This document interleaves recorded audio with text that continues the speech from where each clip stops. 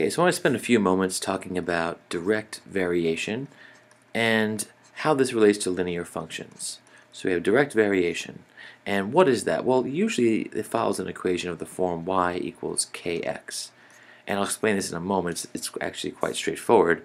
But k here is usually referred to as your constant of variation. But if you don't like this version of the formula, you can rewrite it as y equals mx, right? Where m is equal to your slope. And slope and constant of variation are the same thing.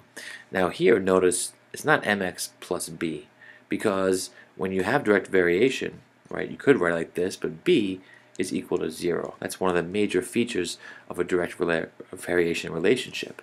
Now you've heard this phrase before and speak about it quite frequently if you've used the word proportion, right? A proportional relationship right? If you say that a relationship is proportional, you're talking about direct variation. What does that mean? Proportional relationship just means that you can always multiply x by some amount to get y. All right, that's how we're looking at it here with these, um, with the domain and range or input-output of a function. So here, if we set up a table, right? So our orange function will represent a proportional function, x and y. Pick any x's and y's, say 0, 1, 2, 3 right? If we're always multiplying by 3, what would happen? And that's all we're doing.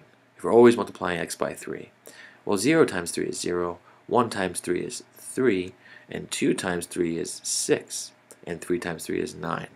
So this is a proportional or direct variation relationship, and the equation would just be y is always equal to x times 3, or 3x, and our constant of variation or our slope is 3.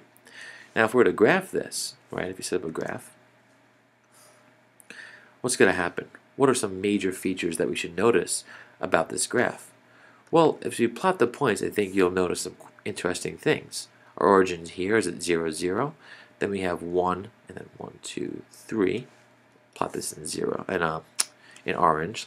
Let me just set the scale real quick. We go 1, 2, and 3. On the y-axis, right, I'll go I'll go up by 3s just to keep it quick. Um, so we go 3, six, nine, one, two, three. So let's plot this. This we have 0, 0. That's our first point. 1, 3, and 2, 6, and 3, 9. What I notice right away is that if I connect these points, I do get a straight line. So it's a linear function. And that makes sense. It follows because it has a constant rate of change or a constant slope. And y equals 3x. But the other big feature, like we talked about, is that the y-intercept is 0.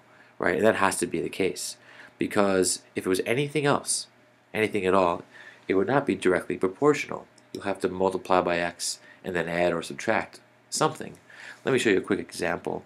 Let's say we change our function slightly, right? Instead of x going to y as it just did, this time, right, we'll have the same inputs, 0, 1, 2, 3, but we'll have 1, right, 4, and then 5, and then, well, sorry, um, 7, and then 10. What's going to happen now? Well, this point right here, we've added a little bit, right? We're at 0, 1 now, not 0, 0. And 1, 4, not 1, 3. And 2, 7. And 3, 10. And even though it's slight, the change here, it's not dramatic, it's slight, right? We have another linear function, but what's the difference? You can't just multiply x by any number anymore to get to y. If you look at it, right, in the first case, we have to multiply by something and then add 1. Right, multiply by something and add 1. Here you do multiply by 4 to get from 1 to 4. But here, you can't multiply by 4 to get from 2 to 7 and from 3 to 10. Right, there is no number, no single number that you can multiply by x to get to y. When that happens, you have a non-direct variation or non-proportional relationship. The equation is just y equals 3x, because the rate of change is constant, it's still linear, but the rate of change is constant, but the whole proportion itself is not constant. Excuse me, the whole function itself is not constant. And that can happen. The slope can be constantly changing, going up by 3 each time.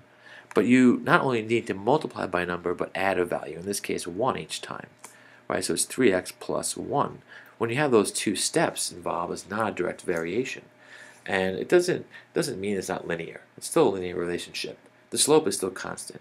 But the whole function itself is not a direct variation anymore. All right, hope this helped.